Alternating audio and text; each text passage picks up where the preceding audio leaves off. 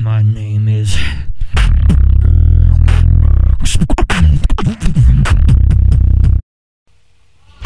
Hello, motherfucker.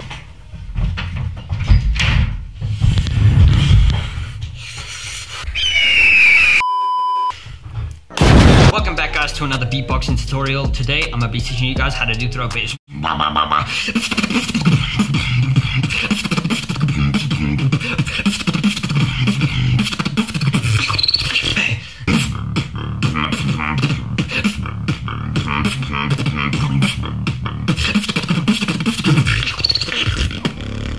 Anyway, enough of me flexing. I created two very simple steps for this tutorial, so hopefully after this you guys will be able to do throat bass. Let's go.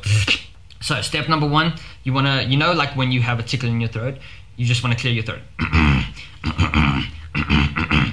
Step two, extend it. And obviously it won't come out that clean when you start. It's not this sound won't take you a day or two to learn. It might take you a month, two months. It all depends on how clean you want it to sound. So just keep working on that. And yeah, guys, uh, this was a really short, simple tutorial, and I really hope that you guys learned from this. So yeah, I'll see you in the next video.